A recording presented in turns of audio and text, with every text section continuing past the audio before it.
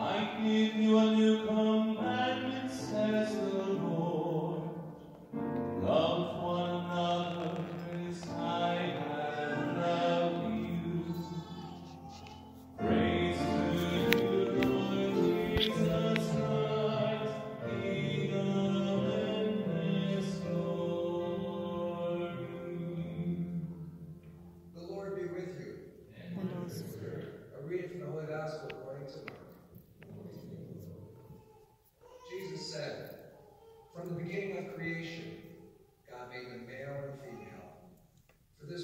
Man shall leave his father and mother and be joined to his wife, and the two shall become one flesh.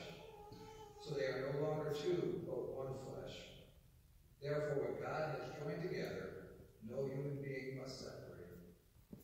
The Gospel of the Lord. Please be seated.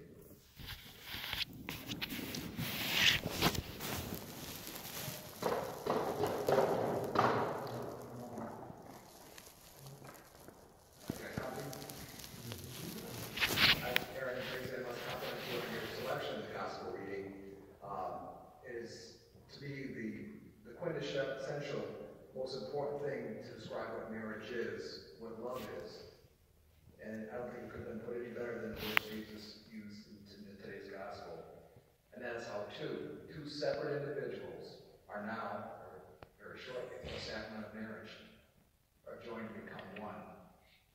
And when I'm done talking here a little bit, I'm going to come down, we're going to do those vows. And before those vows, just as a very symbolic way of illustrating this, we're to have like candle. And everyone can see, again, that the, the two separate become one. So we'll do that.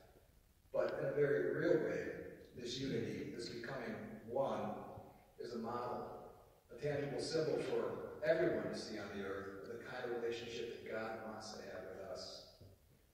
Marriage is such great love, such oneness, the fact of the kind of depth of love that God has.